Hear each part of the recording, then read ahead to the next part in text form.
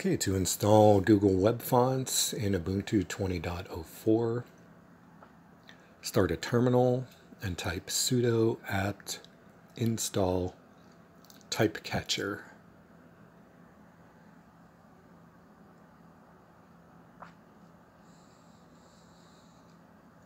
Okay, when that's done, you can close the terminal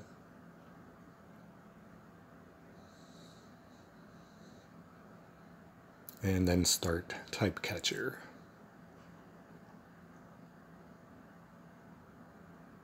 Okay, on the left side of the window is all the fonts that you can install and you'll see an example in the main window. I'm going to check out Acme. When you find one that you want, click the down arrow to install it. When you're done installing fonts, you can close Typecatcher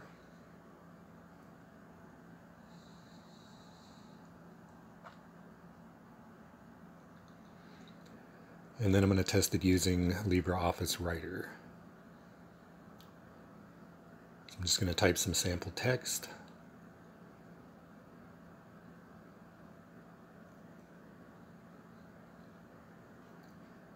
And change the font. I installed Acme, so I'm going to look for that.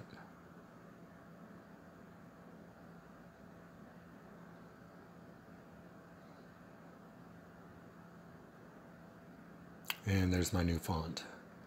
That's all there is to it. Thanks for watching.